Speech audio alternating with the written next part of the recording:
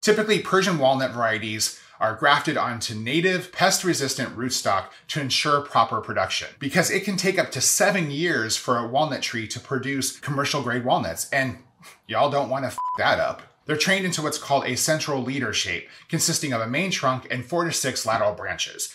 Pruning happens in January. Walnut blossoms begin to flower during springtime, and because they're self fertile, no pollinators are required. Fruit grows over the summer, and by fall, they are ready to harvest. This is when the green hull begins to split and the nuts fall to the ground. By November, all of the leaves are gone and won't return until after frost is over, sometime in April. During this time, the trees are dormant, relying on carbohydrate stores to survive until spring hmm, much like me. Walnut orchards produce nuts for about 35 years, but can remain productive up to 100 years.